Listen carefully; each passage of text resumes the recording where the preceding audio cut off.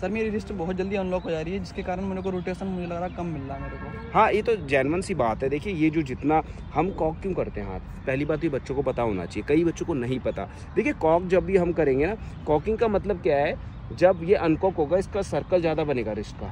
तो उससे स्पिन मिलने के चांसेस बहुत ज़्यादा बढ़ जाएँगे। आपके रिस्क की इन्वॉल्वमेंट ज़्यादा होगी बॉलिंग के अंदर जब आप कॉक अच्छा कर रहे हैं अनकॉक अच्छा चल रहा है सर्कल बड़ा बन रहा है। तो आपको एयर के अंदर स्पिन नेचुरली अच्छा मिलेगा। और कई बार क्या होता है बच्चों को ये जो कॉक है जल्दी खुल जाता है ऐसे। तो इसमें क्या आपकी स्लाइडर अच्छी जाएगी। फ्लोटर अच्छी जाएगी। नॉर्मल क्लासिकल स्पिन आपको कम मिलेगा जब जिसकी बॉलर का कॉकिंग अच्छा नहीं है। आप शेन वोन देख लो आप किसी को भी देख लेना मेरी बॉलिंग में देख लेना।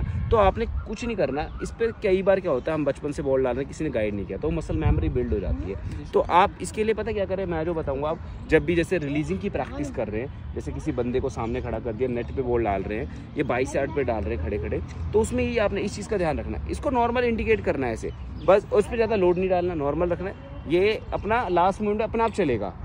ठीक है? कई बार क्या होता है हम यहाँ तक तो लाए ठीक है भाई। लेकिन यहाँ खोल दिया तो हमारा क्या है ये वाला करना भी बेकार मेरे साथ यही प्रॉब्लम होती है सर। हाँ तो इस चीज़ को आपने थोड़ा फोकस करना है।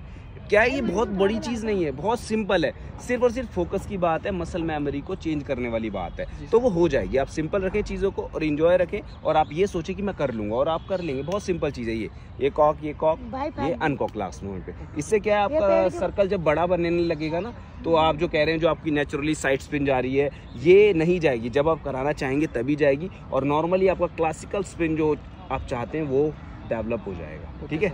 Thank you sir